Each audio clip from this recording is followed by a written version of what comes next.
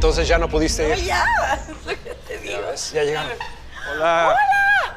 ¿Cómo te fue? ¿Qué te dijo el doctor? ¿Cómo estás, Sofía? Mucho mejor. Emoción. ¿Ya ves? Yo sabía que todo lo que estamos haciendo por ti iba a dar resultados. Eso es, gracias. Hola, Max. Hola, hola. Bueno, la verdad es que debo aceptar que los límites que me ha puesto Sofía me ha permitido estar más tranquilo. Ah, me da mucho gusto. Qué bueno.